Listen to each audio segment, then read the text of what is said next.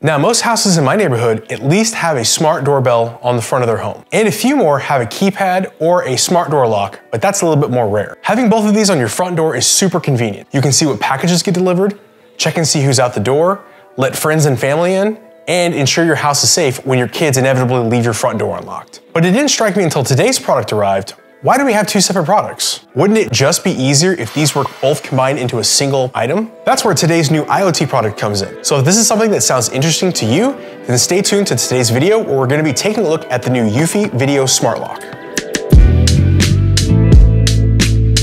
So this product is actually meant to replace an existing deadbolt, not a lever lock or a standard turn handle. So just keep that in mind. If you need to see the list of compatible doors based on size and depth, you can go to this link here below. It'll take you to Eufy's website where they have a document describing which type of doors work well for this lock. It works for most doors, but just check it just in case. So for the first part of the kit that we're gonna talk about, it's the outdoor unit. Now, the outdoor unit is what contains the 2K camera, the fingerprint reader, and of course the keypad. Then below that, we've got the doorbell button, which when opened, reveals the backup keyway. Now, in addition to the 2K camera, this has both passive infrared and radar-based motion detection. So the cool thing about that is in different temperatures and lighting conditions, it can still detect motion. And it can also differentiate between somebody approaching the door and leaving the door. So you can get customized notifications based on if somebody's coming into the house or leaving the house. Then on top is the high-speed fingerprint reader. Eufy claims that this fingerprint reader can recognize a fingerprint within 3 tenths of a second. So that's super fast and convenient to unlock your front door. If you don't want to use the fingerprint reader, or you want to give out a guest code, you can use the lighted keypad below. This product supports a passcode between 4 and 8 numbers. So of course this item is going to be sitting out in the cold and the heat all year long. So it is IP65 rated for dust and water resistance. It also has an operating temperature range between negative 22 degrees Fahrenheit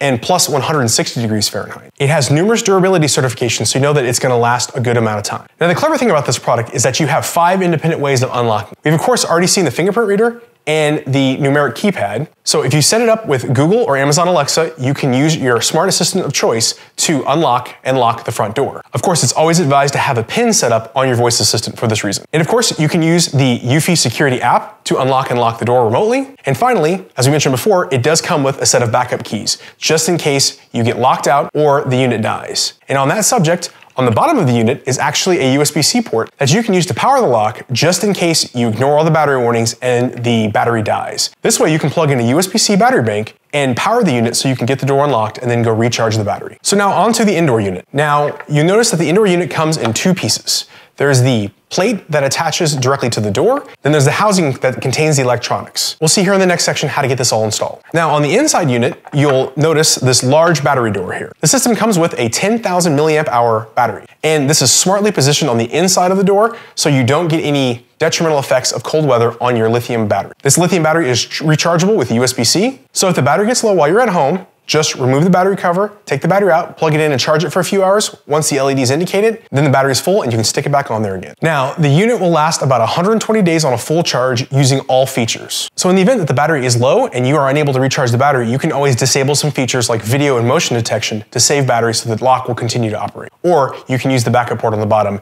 if it does happen to go dead. Also in the back is the sync button, which we will need to use as part of the setup procedure, and the inside thumb turn. Now, one interesting feature about this particular product is that it supports automatic locking. Now, it can differentiate using the accelerometers on board the unit to tell if the door has been opened or closed, and then lock the unit if it's been closed for a certain amount of time. This is all configurable in the app, of course. Then, if we look in the bottom section of the box, we'll find the Wi-Fi bridge slash chime. So this operates primarily as a Wi-Fi extender in order to get a better signal closer to your door. It also operates as an indoor chime so you can hear when the doorbell is pressed. And finally, this is where all of your video is stored. Now, no micro SD card is included with the kit, but I would consider it a requirement. This will take up to 128 gigabyte micro SD card. They recommend using a class 10 or better SD card so you don't get any issues with recording speed. And then on the top of this is the sync button, which we use as part of the setup process. Now, other items included in the kit are a set of emergency backup keys. I've been on the internet long enough, and I know if you show a key off, somebody can take a picture of it and make a key, so that's why these are taped up. Also included is a deadbolt and a strike plate if the one installed on your current deadbolt is not compatible with the system. And finally, we of course have a bag of hardware. All right, now that we've had an overview of the features and what comes in the box, let's get this thing installed. Before we get started with the installation, here's a couple of quick tips. One, you're gonna need a screwdriver. That's pretty much the only tool you'll need for this entire project. If you do have to modify any holes to make anything fit on your door, of course you'll need a drill for that, but for most users, you'll just need a screwdriver. You obviously want to complete this installation on a nice day, and preferably when it's nice and bright outside, that way you can easily see what's going on. Make sure you do the installation with the door open and you're on the inside of the house. When you're doing your testing, make sure you test everything while the door is open. That way you don't lock yourself out or you have a backup way of getting into the house. So of course, the first step is to remove the existing deadbolt. Now this is gonna vary depending on the type of deadbolt you have on your house. I'm actually removing my Schlage Z-Wave deadbolt from the front of the house. I'll probably end up finding another use for it somewhere else, but it's pretty worn after many years of service. Once you remove the actual lock hardware, but before you remove the deadbolt itself, check and see if you can make the existing deadbolt fit your new lock. If you do need to switch out the deadbolt hardware, then of course remove the two screws holding the deadbolt into place and slide it out. You're gonna wanna slide in the new, the new deadbolt and ensure that it's aligned in the same direction as the existing deadbolt was. Now, if you have to modify the strike plate, the same thing applies here. You're gonna have to remove the two screws to take the strike plate off and then place the new strike plate that comes with it on the door frame. Now, there are two color options for the strike plate depending on what you're replacing, either a silver or an oiled bronze. Now make sure you use the long included screws to secure the strike plate to the door frame. Most security experts tell you to use longer screws if possible, but unfortunately my door frame is skinny. You see it's got the glass here, so I'm unable to use very long screws, but these ones fit just fine. Now we're gonna take the outdoor unit and slide it in through the hole, ensuring that the two cables are able to run inside and not getting pinched. Make sure when you do fit this in place, ensure that the rotating shaft of the outdoor unit passes through the deadbolt hardware. Then once it's in place, you might wanna use some masking tape to hold the keypad to the door frame if you don't have a friend to help you. Then we're gonna run the two long screws through the inside plate and tighten them down so the outdoor unit is secured against the door. Now do not over tighten these because you do not wanna break the hardware. Next, we connect the electronics harness and the antenna plug to the inside unit. Then ensure the inside thumb turn screw is turned all the way to the right or the unlocked position. Then you need to slide the inside plate over the rotating hardware for the outdoor unit. Once it's in place and everything fits snugly against the door, then install the two screws in the battery compartment. Once everything is installed and snug, you need to make sure you test the throw of the deadbolt. If this throw is not smooth, you need to take everything apart and make sure that it's aligned. If the action of opening and closing the deadbolt is not smooth, this will one, consume more battery, or two, could, could cause the unit to bind up and throw an error message. So once everything is confirmed it's smooth, then if you can open and close the deadbolt with the door open smoothly, then go ahead and close the door with you on the inside and test it with the door closed. If you run into any problems here, it's most likely the strike plate is not in the right location. So now the hardware is all installed, so let's go ahead and pop the battery in, then let's hop into the app and get the unit connected to your home network. So normally in a video like this, I would take you through each individual step on how to set up the device on your home network and get it added to the app. I think for most users, they can just follow along with the instructions provided in the app by Eufy. But I will go ahead and give you a few tips that I picked up while setting the system up. So the first one is the key placement of the Wi-Fi bridge. With most IoT devices, the number one problem people face is the actual signal quality to their device. And even if you have a home like mine with multiple access points, I still have areas with less than perfect Wi-Fi signal and in those areas, I always run into problems. So for me, I always try to locate that wireless bridge as close to the door as possible. You're gonna be tempted to locate it into a more central family area, so you've got that chime you can hear, but I always like putting them as close to the door as possible to maximize the quality for the device. This ends up saving you battery because the unit doesn't have to wake up as long to send the video data out to your recorder. It also makes the unit a lot more reliable, and this is the case with all battery-powered IoT devices, especially the cameras. Now, the next set of tips all kind of go together, and that is to definitely make sure you're following the instructions exactly. One thing I ran into was with the Wi-Fi bridge. When I first plugged it in, I waited about a minute and decided to try to go ahead and set it up while the red light was still flashing. The instructions told me to wait for the light to turn blue, but I didn't do that and got kind of concerned because the unit took quite a while to finish starting up. Make sure you plug the Wi-Fi bridge in and let it start up before you get the lock installed because it will take a while to get started up the first time. Other than that, I just followed the instructions and it was very easy to get set up. If you do run into questions, please feel free to leave them in the comments below. So real quickly, let's go ahead and jump into the application and take a quick tour. So when you first get the device set up on the network, it's actually gonna set up both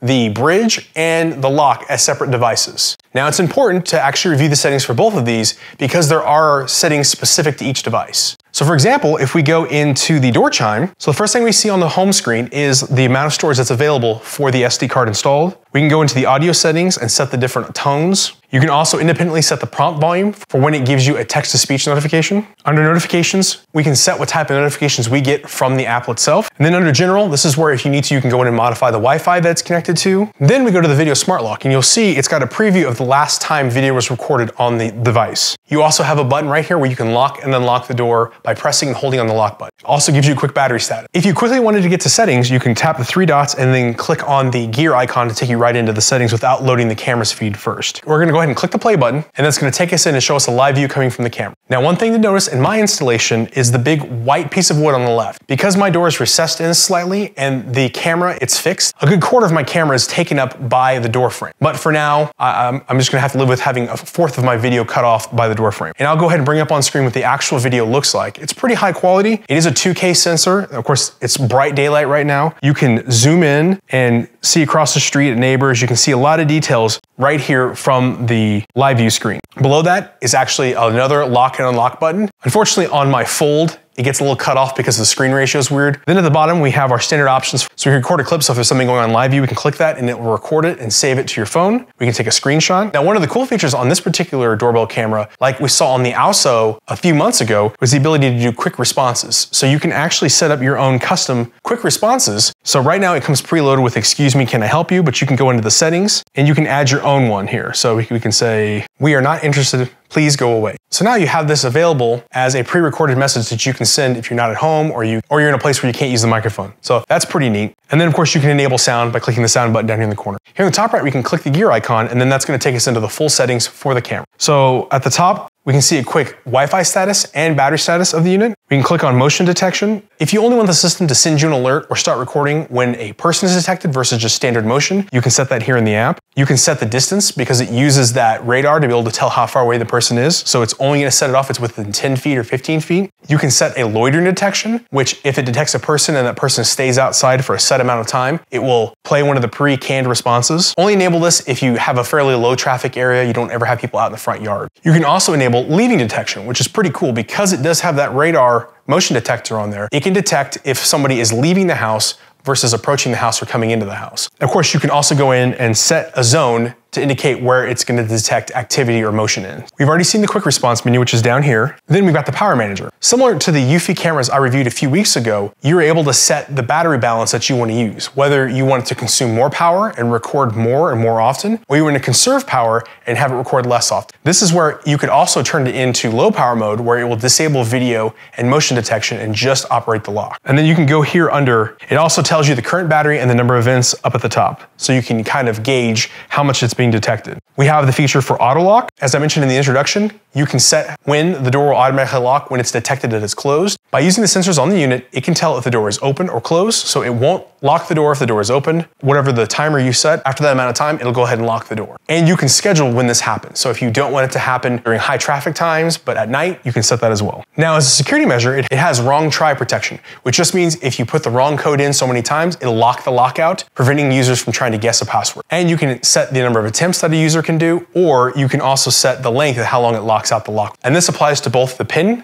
and also the fingerprint. Another interesting feature is the scramble passcode. What this allows you to do is type in any number of digits up to 12, and as long as your passcode appears somewhere in that 12 digits, it will unlock the door. This is if you're living in a high traffic area and somebody could peer over your shoulder while you're putting your PIN code in, you're able to confuse them by adding some additional numbers into them. So that's it for the major features. So let's go into the rest of the settings. So we can change, we can turn on and off the watermark. We can set the video quality. By default, this comes as full HD. I went ahead and knocked mine up to 2K because storage is cheap. Under night vision, we can set whether or not we have uh, night vision automatically turn on. And then below this is the night vision optimization, which is really nice for my camera because, so this will exclude that part of the image from the calculation on whether or not it should turn it into night vision mode. So that's pretty nice. And then under audio settings, this allows us to tweak the audio settings for the outdoor unit, how loud the ringtone is, how loud the beep is. And then in here, we actually have an option to set the ringtone for the inside chime, which I'm not sure why that's not on the chime settings, but it also allows you to set an Alexa, if you happen to have Alexa, you could use those as chimes as well. So you can go in here and customize the ringtones. There's, so we calibrated the lock as part of the setup procedure, but if you happen to move the lock or you run into problems, this is gonna recalibrate all of the different sensors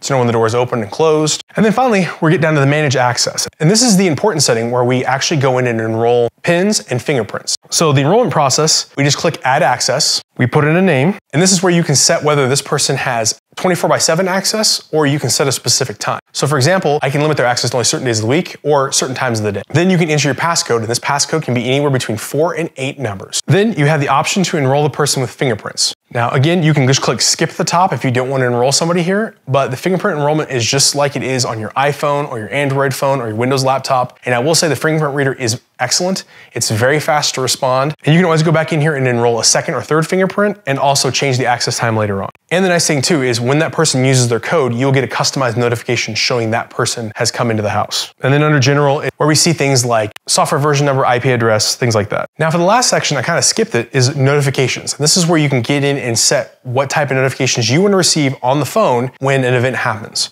You can also customize what happens when you click the notification. Either it'll take you to that history event that you clicked on, or it'll take you directly to live view. And just like on the cameras, you can select what type of notification you get. So that's all the features that come with the application.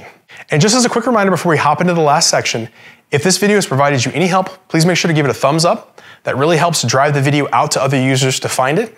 A large percentage of viewers on these videos aren't subscribed to the channel. Surprisingly, on my Wyze version 3 video, 99% of the users are not subscribed to the channel, which makes sense because I'm a pretty new channel.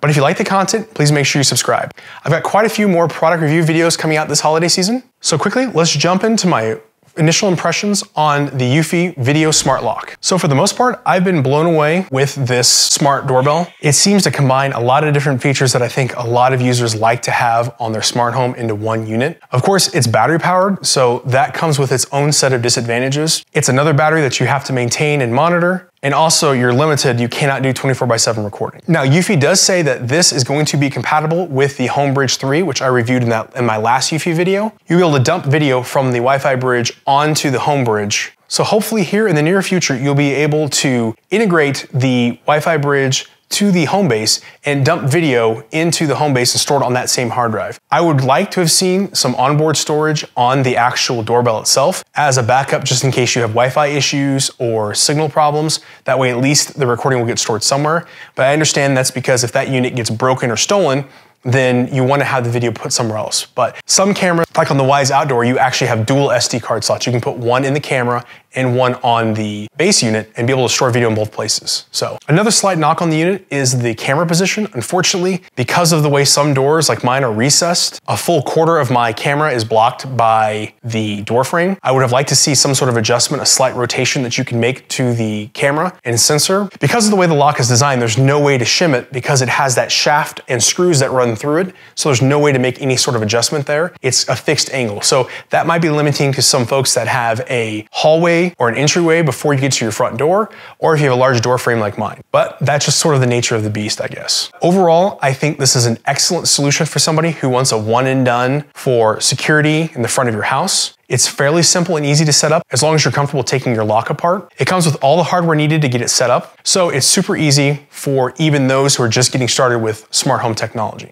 Actually, just this week, we had a vehicle get broken into in my neighborhood, which if that user would have had their doorbell camera set up, they would have probably caught the suspects on there. Fortunately, I was able to help them with some footage off my cameras. But the number one thing I hear from people is, I've got a doorbell camera, I just haven't set it up yet, I haven't installed it yet. So obviously this is gonna be a little bit more complicated, but there's no electrical work involved. And so I think a lot of people, this might be a little bit easier to get installed. So hopefully a product like this helps people get into the smart home world. So I think if you're in the market for a smart lock or video doorbell, this would be a great solution to get it all done in one go. Now, this combination lock and doorbell clocks in at around $400 standard price, which is a little on the hefty side, but you do have to remember that you are getting two things combined into one. If you end up spending $200 on a smart lock and $200 on a high-end doorbell, then it's about the same price of, what you're dealing with with this unit. Now, if there are any Black Friday deals, I will post a pinned comment to this video as long as those deals are active. So hopefully you can pop in and save some money. But I do think with the ease of installation and all the feature sets you get with it, I think it's worth that price point, especially if it's adding an additional layer of convenience and security to your household. So again, if you'd like to check one of these out, I've got links down in the description. And again, I wanna thank Eufy for partnering with me on this video and sending out the unit so I can take a look at it. If you'd like to take a look at my previous video on the Eufy Cam 3 and Homebase 3, I've got a link to it right up here. And if you'd like to check out my other videos on cameras and doorbells, I've got a link right here below it. And as always, if you haven't already, please make sure you subscribe to the channel by clicking our logo right here. Thanks again, and I'll see you on the next video.